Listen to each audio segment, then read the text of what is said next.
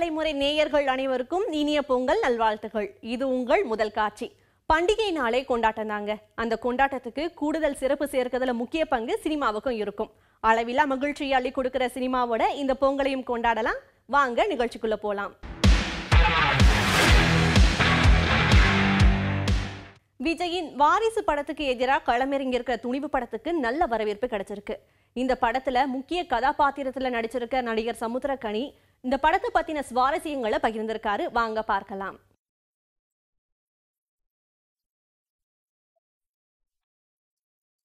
இல்லை அவர் எல்லாமே பின்வார் பட் என்னன்னா அவர் எந்த ரோல் கொடுத்தாலும் அது ரொம்ப சரியாக எடுத்துகிட்டு வரக்கூடிய ஒரு நடிகர் அவர். நான் வந்து அவரை ஹீரோவாக தான் பார்க்கணுன்னு ஆசைப்படுவேன். அதுவும் சூப்பர் ஹீரோவாக பார்க்கணுன்னு ஆசைப்பட்றேன். வினோத் பேரன்பானவன். எவ்வளோ சந்தோஷமாக இருந்தாலும் சரி எவ்வளோ வலியாக இருந்தாலும் சரி அதை எக்ஸ்பிரஸ் பண்ணவே மாட்டான். ஒரு வசனம் நான் நாடோடிகள் எழுதியிருப்பேனே வலிச்சா கூட வலிக்கலன்னு தானடா சொல்லுவேன் அப்படின்ன மாதிரி. எந்த வழியாக இருந்தாலும் சரி அதை எங்கேயுமே வெளிக்காட்டிக்க மாட்டான். அவனோட அதிகபட்ச சந்தோஷம் வந்து அவனுடைய தொடுதலில் தெரியும். நான் ஏதாவது ஒரு ஷார்ட் பண்ணிட்டு வந்து அவன் பக்கத்தில் போய் உட்காரும்போது அப்படி கை மேலே ஒரு கை வைப்பான். அந்த தொடுதலில் தான் தெரியும். மிகவும் பொறுமைசாலி அற்புதமான ஒரு இயக்குனர் இன்னும் பல உயரங்களை தொடுவார்.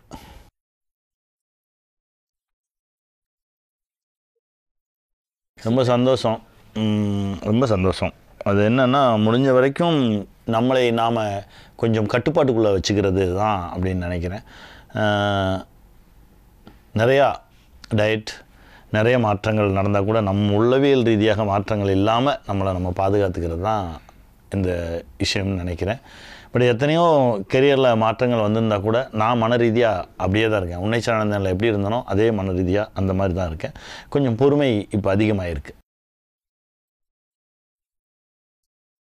கம்ப்ளீட் ஃபேமிலி என்டர்டெய்னர் குடும்பத்தில் இருக்கவங்க குழந்தையோட கூட்டிகிட்டு போய் ஒவ்வொருத்தரும் பார்க்க வேண்டிய ஒரு திரைப்படம்.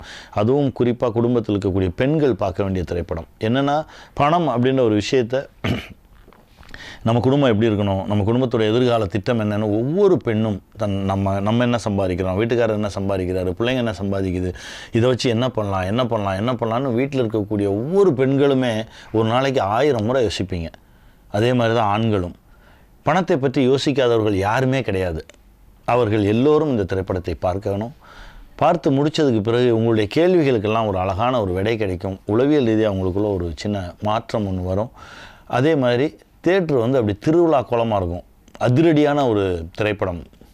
இதில் வந்து அழகான எமோஷனல் கண்டென்ட் இருக்குது நல்ல சென்டிமெண்ட்ஸ் இருக்குது நல்ல சாங் இருக்குது எல்லாமே கலந்த ஒரு கம்ப்ளீட் ஃபேமிலி என்டர்டெய்னர் தான் துணிவு.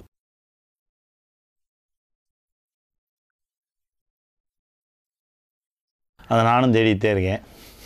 ஏன்னா நடித்த வரைக்கும் நான் அவர் பேரை சொல்லி கூப்பிடல. அதனால் உங்களோடு சேர்ந்து நானும் முழு படமும் பார்த்து அந்த பேரை கண்டுபிடிச்சலாம் அவரோட பேரை அப்படின்ற ஒரு ஆவலோடு தான் காத்துட்ருக்கேன். உங்களோட சேர்ந்து நானும் தேடுறேன். நடிகர் சமுத்திரகனி மட்டும் இல்லைங்க படத்தின் இயக்குனர் ஹெச் வினோத்தும் நடிகர் அஜித்தை பற்றி பல முக்கியமான தகவல்களை பகிர்ந்திருக்காரு.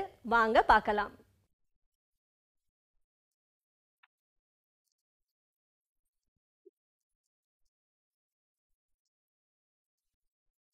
இல்லைவா அது ஆரோக்கியமாக இல்லையான்றதை பற்றி யோசிக்க தேவையில்ல. அந்த படம் வந்து அந்த டீமில் வேலை செய்கிறவங்களுக்கு கம்ஃபர்ட்டாக இருக்கா? அவங்க நல்ல விஷயங்கள் செய்கிறாங்களா அப்படின்னா இப்போ நானும் அஜித் சார் வந்து நேர்கொண்ட பார்வை படம் பண்ணோம். அது ரொம்ப முக்கியமான படம்னு நானும் நினைக்கிறோம் அவரும் நினைக்கிறாங்க. படம் பார்த்து நிறைய பேரும் நினைக்கிறாங்க. வலிமையிலையும் அதே மாதிரி சோஷியலி ரொம்ப இன்டென்ஷனலி குட் ஃபிலிமாக பண்ணோம். ஸோ அதே மாதிரி துணிவும் வந்து ஒரு சுவாரஸ்யமான படமாக இந்த ரெண்டு படங்கள்லேருந்து கற்றுக்கிட்ட சில விஷயங்களை வச்சுக்கிட்டு இன்னும் பெட்டரான ஒரு சுவாரஸ்யமான படமாக பண்ணியிருக்கோம்.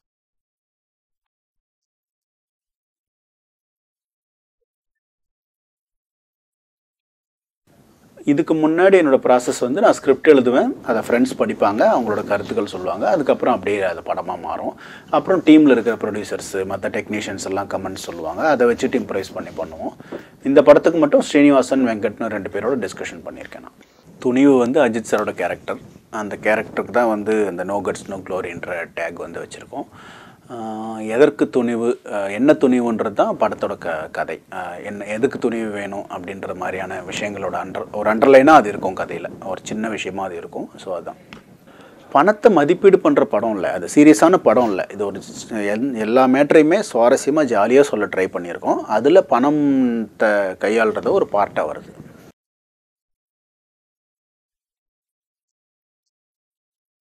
இல்லை அவர் பொதுவாக ஒரு ஸ்டாரு ஒரு ஆக்டர் மாதிரியே நடந்துக்க மாட்டார். அவர் ரொம்ப காமன் மேன் மாதிரி ரொம்ப எல்லாருக்கும் கம்ஃபர்ட் கொடுப்பாரு. ஸோ நம்ம படத்தில் ஸ்பாட்டுக்குள்ளே போகும்போது வந்து அவர்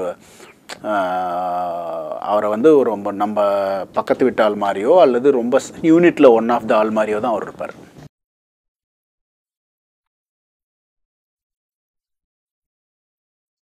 நடிகர் இயக்குனர் ரிலேஷன்ஷிப்னால் அது வந்து ரொம்ப கம்ஃபர்டான ரிலேஷன் நான் அவர் என்ன சொல்கிறாரோ அவர் ஏதாவது ஒரு விஷயம் சொன்னார்னா அதில் ஏதாவது ஒரு முக்கியமான விஷயம் இருக்கும்னு நான் நம்புவேன். நான் ஏதாவது ஒரு விஷயம் சொன்னால் அதில் ஒரு முக்கியமான விஷயம் இருக்கும் வேல்யூபிளான விஷயம் இருக்கும்னு அவர் நம்புவார். ஸோ மியூச்சுவல் டிஸ்கஷன்ஸ் வந்து ரொம்ப ஆரோக்கியமாக ஹெல்த்தியாக இருக்கும். அதுவும் மோஸ்ட் ஆஃப் த டைம் வந்து படத்தை பற்றினதாக இருக்கும்.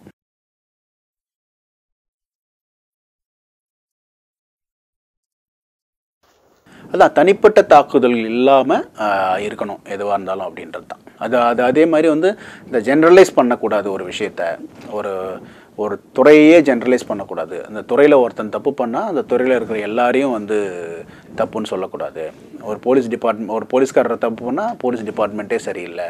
பொலிட்டிஷியன் தப்பு பண்ணால் பாலிடிக்ஸே சரியில்லைன்னு சொல்லும்போது அந்த துறைக்கு வர வேண்டிய ஆட்களும் அதை இன்ஸ்பயர் ஆகி வரணும்ல. ஒரு பொல் பாலிடிக்ஸே சரியில்லை சாக்கடை சாக்கடைன்னு சொல்லிட்டு இருந்தால் அதுக்கு எவனுமே வரமாட்டான்ல. அது மாதிரி அவ்வளோ அது இன்னும் சாக்கடையாக தான் மாறிட்டு இருக்கும்ல. ஸோ அதனால் வந்து அதை ஜென்ரலைஸ் பண்ண வேணாம்னு சொல்லுவார்.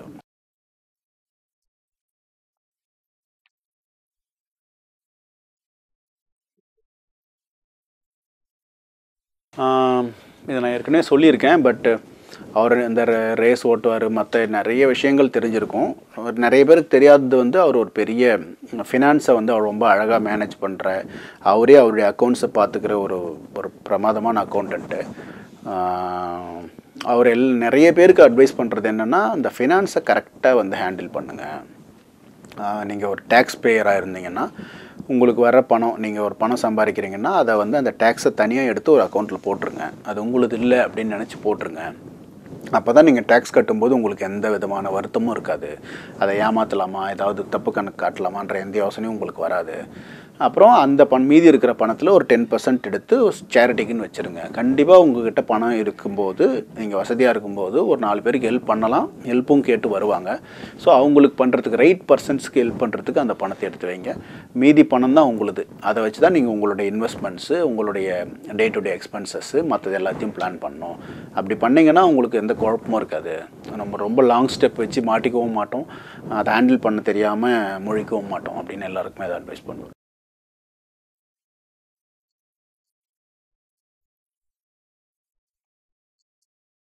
ரசிகர்கள் பற்றி என்னென்னா எப்போவுமே இந்த மாதிரி ஒரு ஏதாவது ஒரு இன்சிடென்ட்ஸ் வைரல் இன்சிடென்ட்ஸ் வந்துடும்ல ரசிகர்கள் பண்ணுறது அது சம்மந்தமாக ஸ்பாட்டில் ஏதாவது யாராவது சொல்லுவாங்க பேசுவாங்கன்னும் போது அவருக்கு அதான் அந்த மாதிரி பண்ணுறது எல்லாமே ஓகே ஜாலிக்காக எப்போ எப்போ பண்ணிக்கலாம். அது ஒரு ரெஃப்ரெஷ்னிங்காக இருக்கிற வரைக்கும் ஓகே அதே வேலையாக இருக்கக்கூடாது. அதே வேலையாக நிறைய டைமை வேஸ்ட் பண்ணக்கூடாதுன்னு நினைக்கிற ஒரு ஆள் அவர். படம் ரிலீஸ் ஆகும்போது அந்த படத்தை போய் பார்க்குறது கொண்டாடுறது உங்களுக்கு அதுலேருந்து உங்களுக்கு உங்களை இன்ஸ்பயர் பண்ண ஒரு ஹீரோ உங்களை வந்து ரொம்ப கனெக்டான ஒரு ஹீரோ படத்தை வந்து நீங்கள் கொண்டாடுறதுல ஒன்றும் தப்பு இல்லை அதன் வழியாக உங்களுக்கு ஒரு சந்தோஷம் கிடைக்குது. மற்ற விஷயங்கள் வேறு ஏதோ கிடைக்குது அப்படின்னாலும் ஓகே பட் அதையே வேலையாக வச்சுருக்கக்கூடாது அதை வச்சுக்கிட்டு வேறு யாரையாவது வந்து திட்டக்கூடாது. அதனால் உங்கள் சினிமா வந்து பார்ட் ஆஃப் த லைஃப் அதுவே லைஃப் கிடையாது. ஸோ உங்கள் லைஃப்பை பாருங்கள் உங்கள் ஃபேமிலியை பாருங்கன்றது தான் அவருடைய ஐடியா வரும் தித்திக்கிற பொங்கல் மாதிரியே திகட்டாத சினிமாவை பத்தி அடுத்த நிகழ்ச்சியிலையும் தொடர்ந்து பேசலாம் நேயர்களே. இது உங்கள் முதல் காட்சி. நன்றி வணக்கம்.